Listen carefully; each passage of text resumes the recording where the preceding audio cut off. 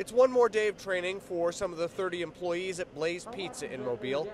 The chain officially opening its newest location in the port city Wednesday. Excitement, anxious, but I, I think we're prepared. LaCour said they originally planned to open in March, but statewide orders forced them to put that on pause. As they got rolling again, he said it was difficult to find employees. They'll start on the same footing as other restaurants, only filling half their tables for dine in service. We feel like beginning of summer, kids are going to want to get out, so um, if we can, you know, uh, open with 50% capacity, we felt like it was a good opportunity. As the safer at home orders are eased, they're also hoping a lot of people are just eager to get out. I think there are a lot of advantages to opening during this time because everyone has been cooped up in their house. They're stir crazy, ready to get out and have a new experience. A picture of the Middle Bay Lighthouse adorns one wall.